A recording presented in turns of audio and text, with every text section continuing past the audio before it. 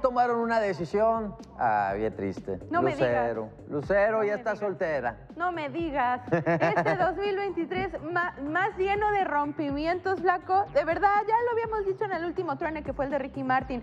Ya no creemos en el amor y seguimos no creyendo en el amor. Y, y desde el amor dicen que terminan esta relación de. ¿Qué llevaban, flaco? ¿Unos 10, 11 años? 11 años, 11 años. Oye, me encanta porque todos los comunicados que hemos visto en el 2023 empiezan casi igual. Desde Como que tienen el No, pásamelo, Andrea. Pásamelo, Ricky. O sea, Entonces pásenmelo a mí al flaco por si un día no jala esta situación. que todavía nos quedan unos mesecitos del 2023.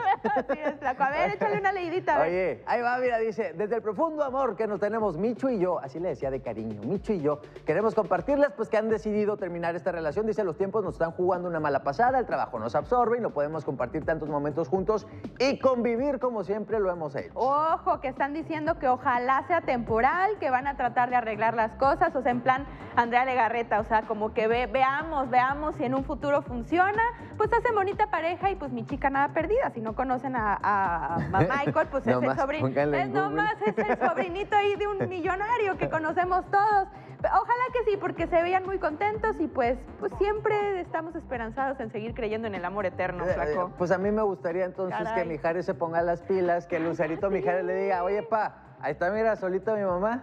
¿Qué onda? Imagínate. ¿Qué onda? Perdida.